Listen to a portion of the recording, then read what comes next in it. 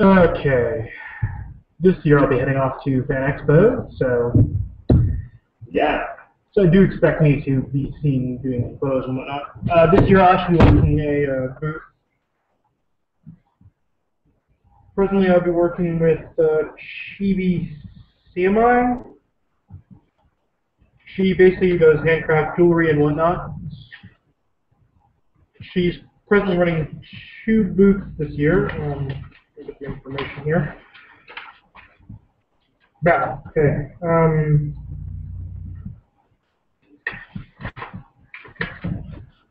yes, um, the booths are A140, the premier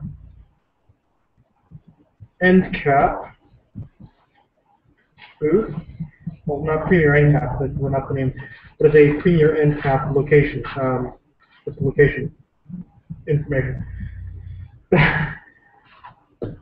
okay. Don't me ramble here. This is live, so, you know, generally how things work with a live broadcast. And the other booth is A158 Standard. I will be hanging out at that booth specifically more often. The other booth I mentioned before, I will be doing that on uh, Friday and possibly Thursday as well, which will be tomorrow.